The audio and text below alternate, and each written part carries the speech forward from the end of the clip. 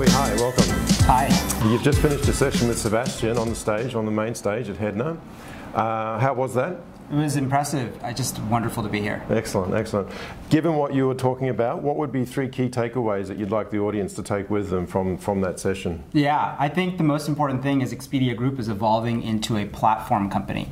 And what I mean from that is instead of being a collection of individual brands that are operating travel marketplaces, we are now a group that is leveraging the assets, data, and technology of all of the brands under the Expedia Group umbrella into a real two sided marketplace that allows us to become, or actually we already are, the world's largest travel platform.